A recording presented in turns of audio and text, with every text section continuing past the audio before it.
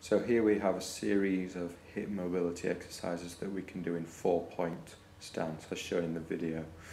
What's important as we move through these is that we keep the lumbar spine stable and we're not tipping around too much at the, at the hip as you can see here from the anterior view.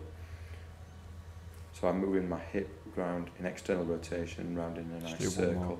I can gradually widen the amplitude. I'm now going to reverse the movement. So as well as being a mobility exercise, as you're also strengthening the hip abductors and external rotators with this exercise. So here's a lateral view. As another variant, we can then move to a straight leg um, and just move through internal and external rotation.